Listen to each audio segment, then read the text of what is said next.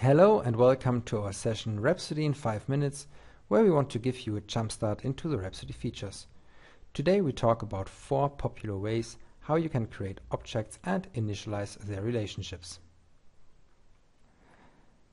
So there are four ways how we can create objects and uh, initialize the relationship between them. The first one is on component level where we can create initial instances. Uh, the next one is create global instances and draw a link between them, between them objects. The other one is a kind of whole part relationship where we create an initial, initial instance of the whole, which is then responsible to create the instances of the part and initialize the relationship. And the fourth way is to create a builder that is then responsible to create its initial instances. So let's take on the first approach. In this example we have two classes, man and woman. And uh, Rhapsody allows me on component level in the configuration to uh, create initial instances of these two classes by just clicking uh, the box here. And uh, this will modify the main file. So let's take a look on the main file. So here we see that Rhapsody is generating uh, an object of a man and an object of a woman. Because I would like to see the objects in Rhapsody, I switch on animation, which gives me feedback of the runtime objects in Rhapsody. And let's compile this one.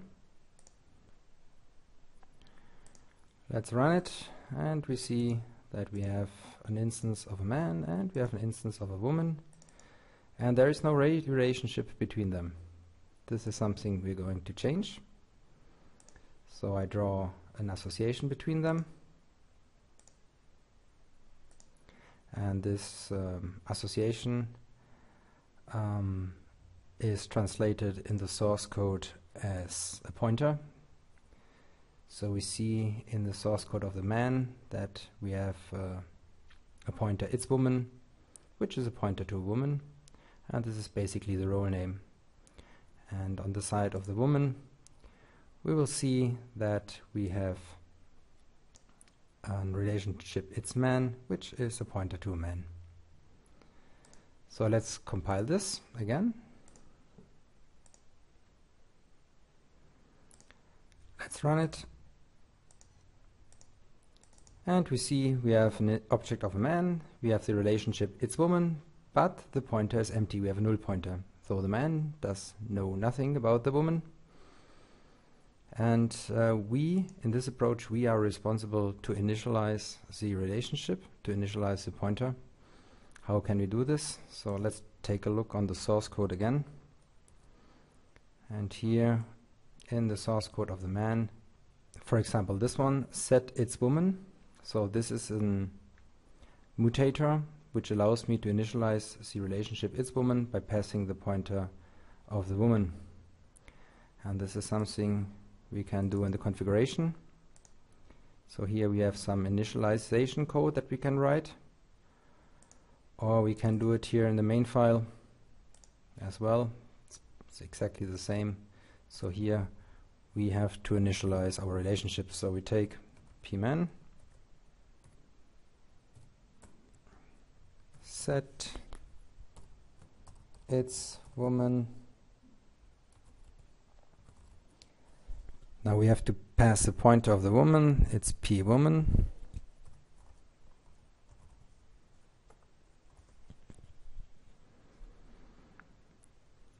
Let's save it. Let's compile it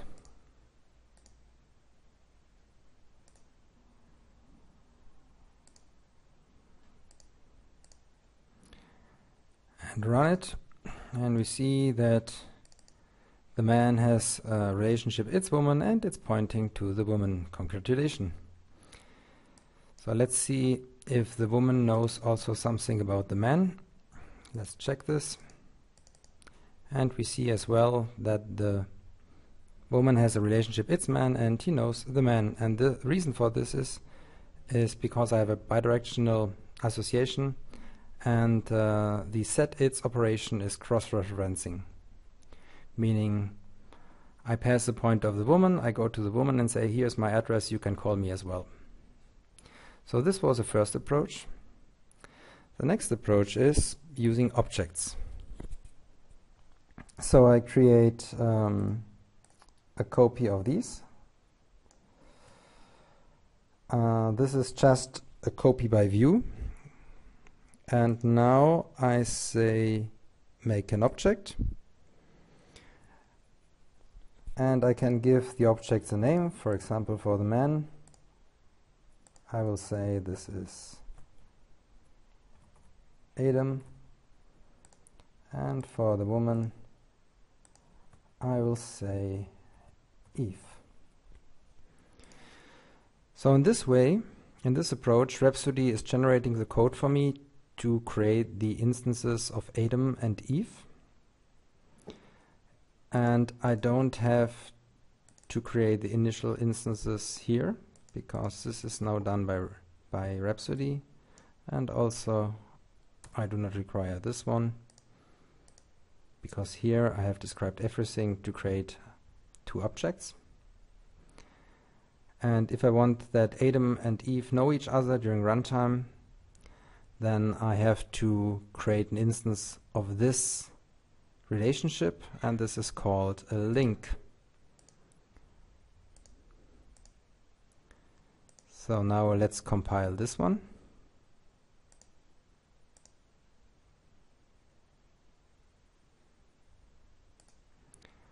Run it, and we see that we have an instance of Adam, Eve. Let's click on Adam. Adam has a relationship, it's woman, and he knows Eve. And the other way around, Eve has a relationship, it's man, and he knows, she knows Adam. So this was the second approach by creating global instances. This is a nice way it's pretty fast to create initial objects, to initialize relationship between them. But here we have global objects, and this is something that we do not really much prefer because everyone can now access Eve and uh, call functions at Eve saying, hey Eve, eat this apple. So another approach would be, and here I jump to the fourth solution, that I use an additional class to create instances. This is called a builder. And here we create, we draw or we use the composite class and we draw it around Adam and Eve.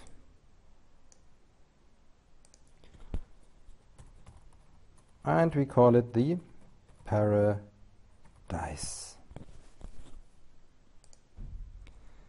So what you see now is that Adam and Eve are encapsulated inside of the paradise.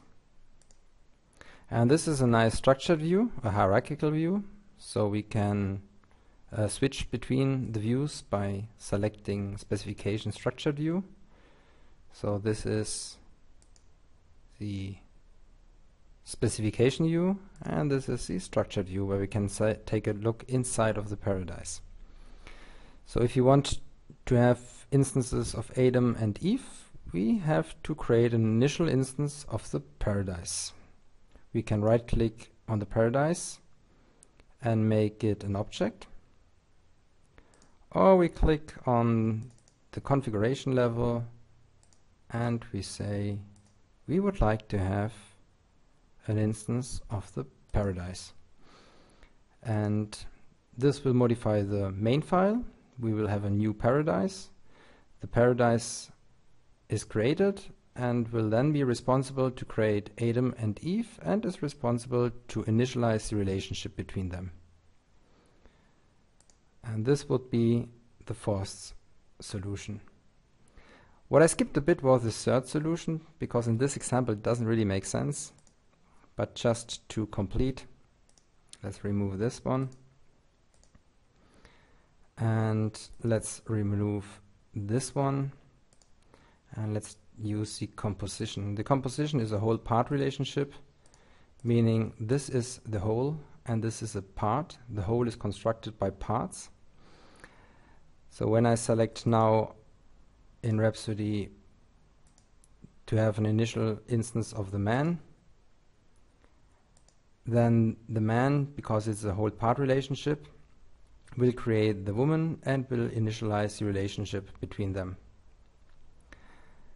And it's a lifetime relationship, meaning when the object of the man is destroyed, the object of the woman is destroyed at the same time. Thank you very much. If you're interested into a specific topic, don't hesitate to send me an email to info at evocean.com. So thanks to Daniel for this topic, or send newsletter to the same email address to receive our newsletter and get informed about our training dates and so forth. You're also invited to check under evocean.com events our latest uh, training schedule. We periodically run C, C++ trainings in Rhapsody. We also run IBM Bluemix trainings and how you can build IoT devices with Rhapsody for uh, IBM Bluemix. If you are interested in a specific topic or an on-site training, uh, for example Rhapsody in Java, Rhapsody in Ada, uh, Rhapsody Test Conductor, SysML, System Engineering Training, or whatever, don't hesitate to get in touch with us. Thanks a lot, and bye bye.